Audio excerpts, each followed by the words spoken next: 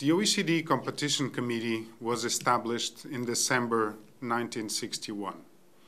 At present, the Competition Committee brings together leaders of the world's major competition authorities of member countries, 35 member countries plus the European Union, and of non-OECD countries. We currently have 17 non-member countries participating in the committee and other ad hoc invitees.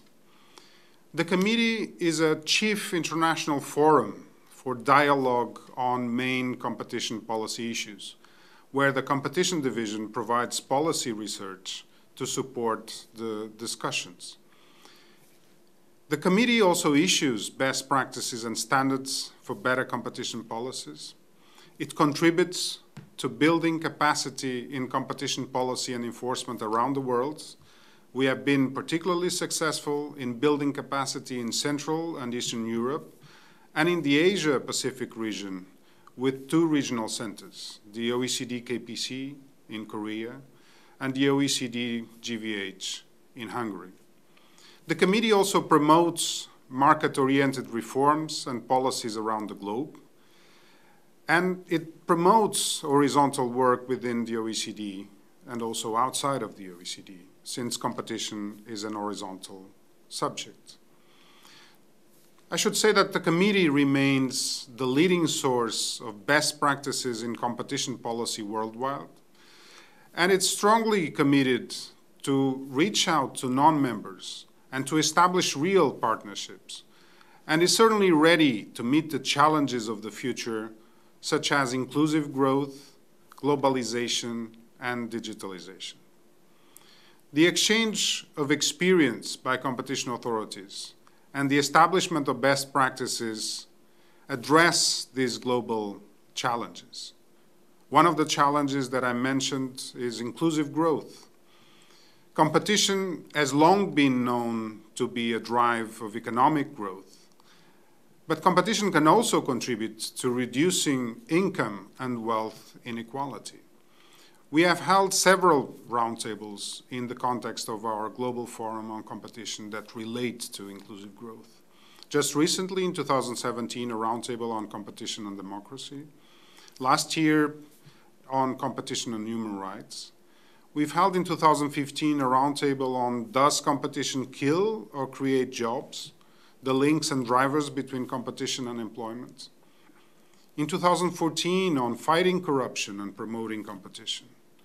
And 2013 competition and poverty reduction. But we've also handled issues related to globalization and international cooperation. And we know that globalization will continue to test competition law international, internationally. We have cross-border cartels and mergers on the rise. Uh, there are public interest considerations that are widespread, and there is a risk of a wider use. And international cooperation across the globe is key to ensure that dominant firms are not able to game the system and that international cartels are found, they are investigated, and they are prosecuted effectively. And I should say that digitalization only further highlights the need for international cooperation. So it's very important that we look back at the OECD standards, such as the recommendation on fighting hardcore cartels or the recommendation on international uh, cooperation. Another challenge that all countries are facing is dig digitalization. Cross-border digitalization leads to market integration.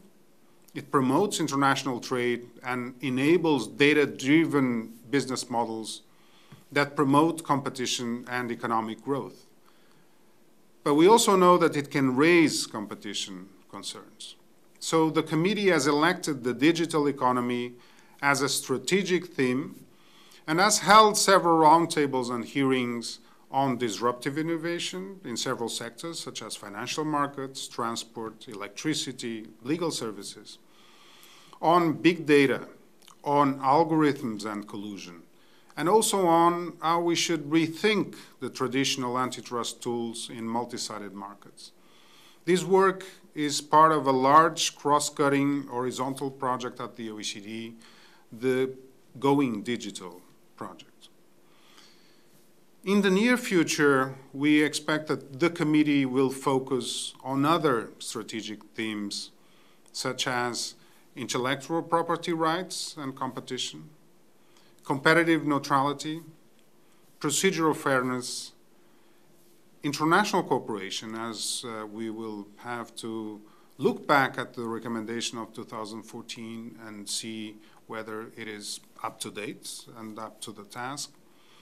And finally, we will continue to look at uh, digitalization, in particular at the link between competition and regulation with the aim to review the competition assessment toolkits in light of digitalization in 2019 uh, and 20.